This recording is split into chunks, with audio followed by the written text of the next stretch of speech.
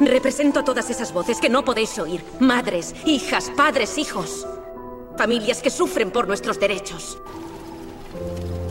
Una nueva era comienza. Una era de libertad. Para preservar la libertad, la justicia, el orden y la razón.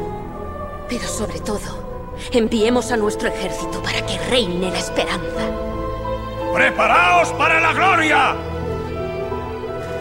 ¡Que todos hagan examen de conciencia! Un loco sueño, pero así es. Y el mundo entero sabrá. Esa era su única esperanza. Que a toda alma libre que pase por ese lugar, en los innumerables siglos que están por llegar, desde las piedras milenarias, nuestras voces puedan susurrar. En este día, liberamos al mundo del misticismo y la tiranía y damos la bienvenida al futuro más esperanzador que hayamos imaginado. Haz que corra la voz.